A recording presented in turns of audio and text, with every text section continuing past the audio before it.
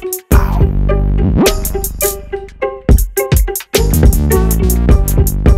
What's up, everybody? Once again, it's BrandMan Sean, and I'm back with another episode of Inside the Network where we share exclusive content from inside of BrandManNetwork.com. Now, this is actually a very special collaboration from Brandman Network and Music Entrepreneur Club. We actually got together, answered some live Q&A questions, and this topic in this video right here is spam, spam, spam. Let's get into it. We used to go into forums that, you know, we thought would be fans of Hopsin and we would he would post his links, I would post his links.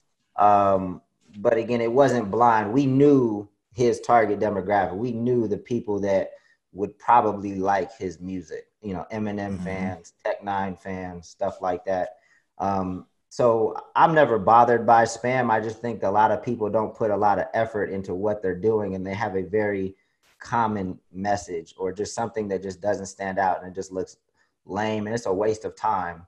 And then like when we got when we got momentum, we took kind of spam to another level. And some people might not call it spam, but we kind of spammed our way onto the double XL cover, right? Because if we wanted, once we got momentum and we got in, and, and we had numbers and other people didn't realize we had numbers, if we wanted to get the attention of somebody, we would have our fans like mm-hmm. at them.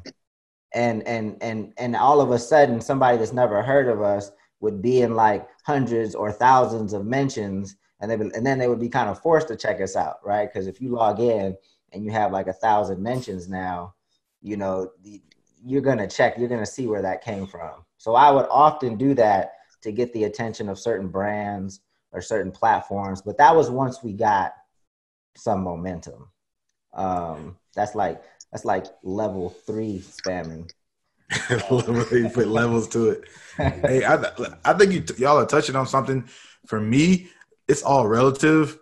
I think about spam completely different than most people, and to me, spam is generally uh, marketing, most marketing activities, and, and, really because it's all about whether it's welcome or not. If I put something in front of you that you didn't expect but you like it, then hey, it wasn't exactly spam right? I found great placement for it, but that's putting in that effort to make sure it's in the right um, in the right place. Every TV commercial that ever comes on is spam, basically. Like you aren't what you're not watching just for the commercials, right? Unless this is a Super Bowl, now you're watching from the commercials.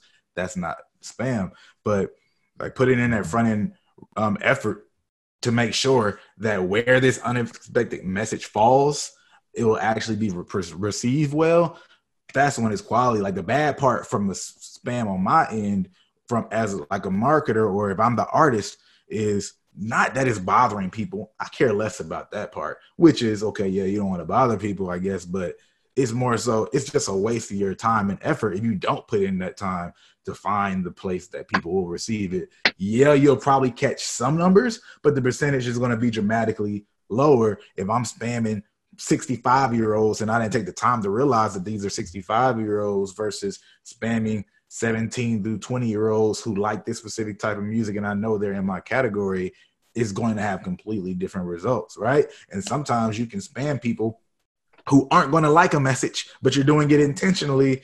So you, you know, that's a whole nother level. That will probably be somewhere near level three spamming, uh, what I'm what I'm starting to allude to. But but it's it's all relative and it's all about once again just taking in that research to figure out where people are going to receive your message both uh, uh, receive your message well. And then the other thing that a lot of people start to relate when it comes to spam is posting a lot getting in front of people's um, face a lot. And they, they closely relate that part of spam to saturation. But what most people don't realize is yes you can be in front of people and start to get saturated or you can start to feel like you're spamming them and then we have this whole socialization where like we don't want to bother people. But the thing is one second. But the thing is if you show variety people will far have a high a higher tolerance of you. So if i'm just posting the same daggone flyer again and again and again the same music video again and again and again okay they're going to start to drop off on why they care. It's still going to start to feel like spam. They're going to start ignoring it but if I'm showing something different every single time, and if I'm bringing entertainment value to it every time, then people start to become intrigued or they feel less um, less put off right? Um, or they accept it more. They can see that there's work. They see that it's something different. Just like if you think about somebody like 6ix9ine, right? There's this has been a similar period for so many other artists, but that hot moment in that hot moment, people are consuming and seeing him all the time. But it's all this different random entertainment stuff, and they're tuning into it.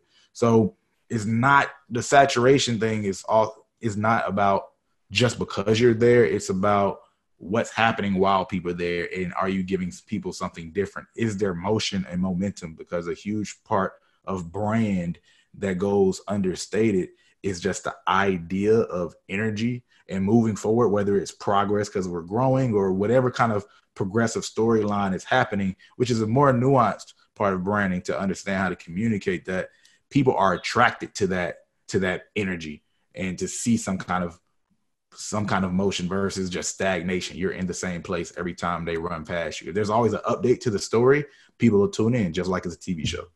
That's it for this video right here. Again, you can check out the full thing in brandmannetwork.com where you can also, of course, work on developing your brand, building the true infrastructure you need as a marketer to actually build your fan base. Now, as always, if you like this video, go ahead and like button. If you like it, you might as well share it. And if you're not subscribed, you know what to do hit that subscribe